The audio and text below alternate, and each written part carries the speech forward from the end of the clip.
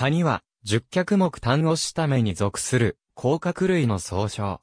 タラバガニやヤシガニなどは十脚目イオシタメに属するが、これらも、漁業、流通等の産業上、カニとして扱うことがある。また分類学において、本分類以外の水産節足動物で、カニの名を与えられているものも多い。熱帯から極地まで、世界中の海に、様々な種類が生息し、一部は、沿岸域の陸上や、淡水域にも生息する。生体の大きさは、数ミリメートルしかないものから、足の両端まで3メートルを超す、高足ガニまで変化に富む。箱型にまとまった、東京部に5体の不足があり、このうち最も前端の1体が、ハサミ足となる。触覚は2体あるが、どちらもごく短い。腹部は筋肉が発達せず、頭胸部の腹面に折りたたまれる。ただしそれぞれ例外もある。なお、食用のカニとしてタラバガニやヤシガニ等も知られるが、これらは正確には、単語した目ではなくヨシタメに分類される。よく見ると、ふ足が3体6本しかないように見えるが、これは、第5補脚が甲羅内のエラ質に折りたたまれているためで、ある。大部分が頭胸部からなる体は、背面全体が硬い基沈質の頭胸口で覆われている。頭胸口の前縁から一体の柄のついた複眼が突き出し、通常はすぐ外側の溝に倒して収納できる。触覚は2体あるが、いずれも短い。第一触覚は前に突き出して、上に折れ、先端に小さな二枝がある。第二触覚は単純な毛髪状である。後部は第三顎足が扉のように変化して、大顎をはじめとした口の初期間を覆うが、弁形ガニ科や木図ガニ科の一部等では、第三顎足が小さく、大顎が露出する。5対10本の胸足のうち、第一歩脚はハサミ足に変化していて、餌を掴んだり敵を威嚇したりするのに用いる。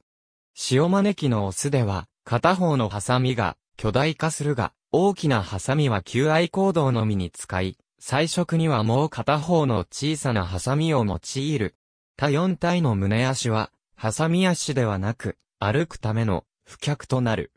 ただし例外もあり、ムツ足ガニ科は、名の通り不足が3体6本しかない。カイカムリやヘイケガニ等では、第5脚あるいは第4、第5脚が小さなハサミ足、あるいは針状に変化し、これで、海面や貝殻を背負って、身を隠す。渡りガニ科では、第5脚、金線ガニ科では4体の足すべてが、比例状に変化しているため、歩きより、泳ぎの方が得意である。多くのカニが、横歩きをするが、南米付きガニは前歩き、朝日ガニ科やカラッパ科のカニは、後ろ歩きをする。雲ガニ科と拳ガニ科のカニは7個の節からできている。足の角節が感情で、前後左右へ自由自在に動くことができる。また横歩きしかできない種類でも回転で弱らせると、しばらく、縦歩きをする。エビ類や、ヤドカリ類と違って、腹部の筋肉は発達せず、また、ビブ先端の汚染もない。腹部は、朝日ガニ等一部の分類群を除いて、東京港の下側に折りたたまれる。その形状から俗に、ふんどしとも呼ばれる。オスの腹部は、幅が狭く、一体の交尾器があるが、メスの腹部は放卵するために、幅が広く、卵を保持するための腹足が発達する。呼吸は、東京港の両側にあるエラで行うため、生存には、水が不可欠である。エラは、ガニともいい、俗に有害であるといい、カニは食っても、ガニ食うなと戒められる。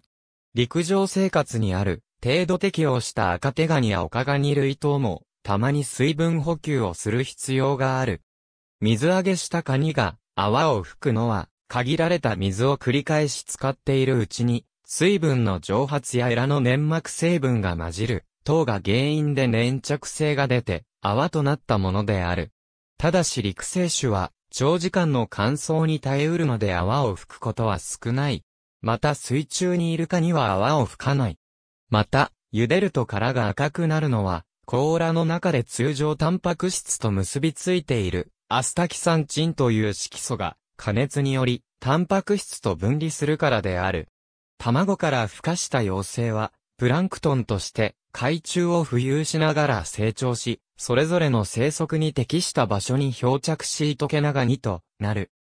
これは、陸上生活に適応した赤手ガニやオカガニ類とて、例外ではなく、初夏の新月の夜など、特定の時期に一斉に海岸に集まり、それぞれに水中で産卵して、再び内陸へと戻ってゆく行動が見られる。海星のカニでは普通、はじめに、ゾヤという妖精の時期があり、ついでメガロパキにややカニらしくなり、やがて糸気なガニとなって、低生生活に入る。ただし沢ガニと山ガニは、幼生期を卵の中で過ごすため、一生を海と無縁に淡水中で過ごす。毛ガニ、ズワイガニ淡水、汽水、沿岸域から深海や洞窟まで様々な水域にいろいろなカニが生息する。陸上、純淡水に生息する種は少なく、汽水域、海岸線から海中に大部分が集中する。マングローブ林では木に登っているものもある。干潟では小動物として数が多く、最もよく目立つものである。巣穴を深く掘るものが多く、低質の構造に大きな影響を持ち、水鳥の餌としても重要である。他の動物の体を生息場所にするものもあり、サンゴやウニ、ウミシダなどに生息するものも知られるが、寄生か共生かは判別しがたい。カキやアサリなど貝類の体内に生息するものもおり、それらを使った料理から出てくることもある。クリスマス島は11月頃に赤ガニが大量発生することで有名である。デグレーブへ通るより、彼らは目とトガの間に分類階級、群を置いている。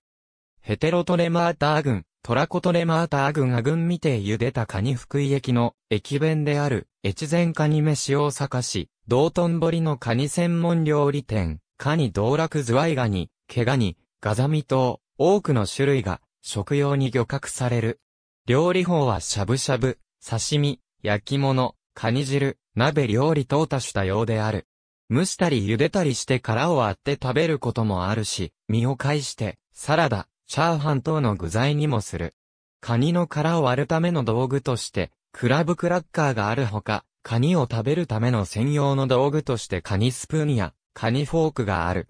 殻を剥く手間を省くため、足は、剥き身や、半剥き身の状態で強されることもある。他にも鑑賞用に、ペットにされたりもする。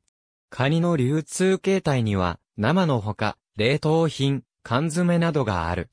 また、雑炊の素など、他の食材と組み合わせて、乾燥した実を入れているものや、カニの茹で汁を元にした出汁、濃縮スープなども販売されている。缶詰で、カニ肉が硫酸紙に包まれているのは、カニ肉の変色を防ぐためである。中国では、旧メス10油と言い、旧暦の9月は、メスの上海ガニが、10月は、オスの上海ガニが美味とされている。これは秋に気温が下がるに従って上海ガニの産卵時期が近づき、味噌や肉が溜まり出すからである。同じ頃、日本の木図ガニも、漁の時期となる。上海ガニは生きたまま、藁で足を縛って流通させられる。なお、一般にカニは高級食材なので、代用品として、魚肉で作るカニかまぼこもある。食用以外にも、カニやエビの殻からはキチン、キト酸、グルコサミンなどが製造される。